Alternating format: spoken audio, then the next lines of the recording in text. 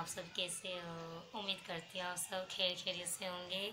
आज हम रेसिपी है हमारी दाल मसूर की दाल। या इसको हम पहले से भिगो के रख दिया है और आधा किलो जितने प्याज है करी पत्ते धनिया टमाटर हरी प्याज हरी मिर्च। हरी मिर्चियाँ और लहसुन है। साबुत हरी मिर्चियाँ डालेंगे और लहसुन को कूट के डालेंगे। इसके अंदर तेल गरम और अभी हम प्याज डालेंगे।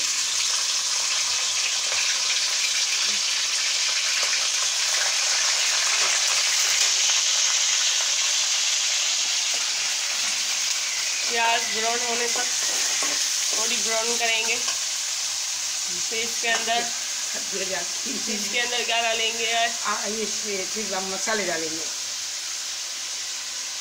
इसके अंदर मसाले सारे ऐड करेगी मम्मी।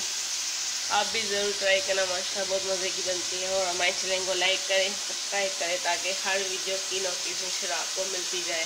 मसूर की दाल मसाला अच्छी बनती है। बहुत अच्छी बनती है माशा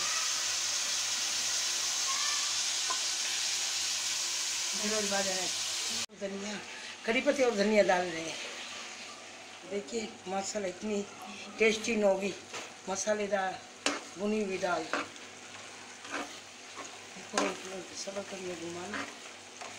फिर इसमें एक गिलास पानी पड़ेगा।